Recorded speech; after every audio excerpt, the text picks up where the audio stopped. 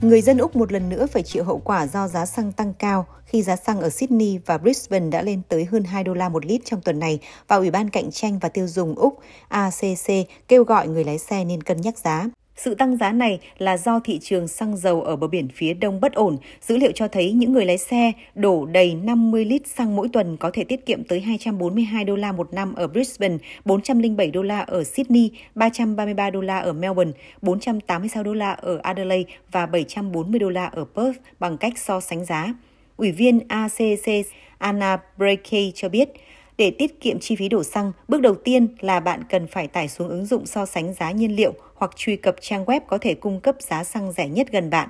Brakey cho biết, đây sẽ là công cụ hữu ích dành cho những người lái xe đang tìm kiếm mức giá nhiên liệu thấp hơn, có thể chỉ cách một quãng lái xe ngắn. Sau khi tải xuống ứng dụng so sánh giá xăng, việc tiếp theo bạn cần làm là tìm hiểu mô hình thay đổi giá xăng trên khắp các thị trường của Úc.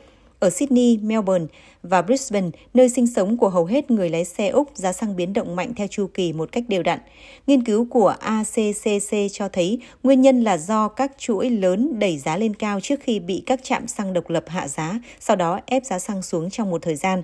Các công ty dầu mỏ sau đó sử dụng sức mạnh của mình trên thị trường để thu hồi lợi nhuận bằng cách đẩy giá lên cao một lần nữa. Đây là điều đang diễn ra trên khắp Brisbane và Sydney. Breaky cho biết, có thể mọi người cho rằng tất cả các nhà bán lẻ đều tăng giá cùng một lúc, nhưng nghiên cứu của chúng tôi cho thấy thực tế không phải vậy. Nếu bạn thấy giá tăng tại một địa điểm bán lẻ, các ứng dụng và trang web có thể giúp tìm ra địa điểm khác chưa tăng giá. Nghiên cứu của ACCC cũng cho thấy phải mất tới 2 tuần giá xăng từ mức thấp nhất của thị trường mới có thể tăng lên mức cao nhất.